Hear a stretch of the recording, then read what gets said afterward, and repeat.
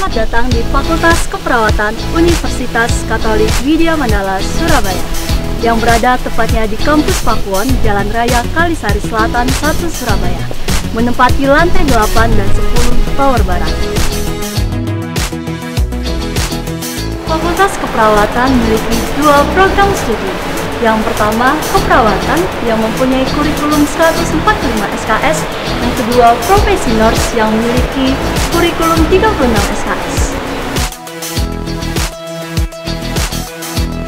Adapun visi dari Fakultas Keperawatan yaitu terbentuknya lulusannya inovatif, kreatif, kompetitif, dan reflektif yang berdampak positif bagi masyarakat di era global dalam pengembangan ilmu dan pelayanan keperawatan secara komprehensif, terutama pada keperawatan paliatif yang dilandasi pelayanan cinta kasih dalam kurun waktu tahun 2017 hingga 2027.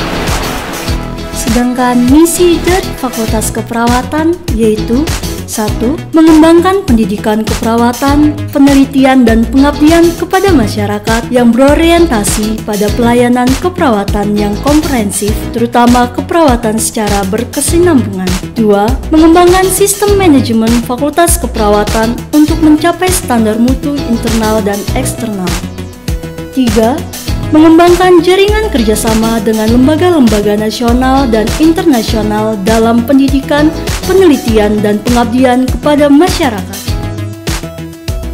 Fakultas Keperawatan memiliki 9 laboratorium keperawatan yang terdiri dari Laboratorium Keperawatan Dasar Laboratorium Keperawatan Medikal Bedah Laboratorium Keperawatan Anak Laboratorium Keperawatan Maternitas. Laboratorium Keperawatan Gawat Darurat atau UGD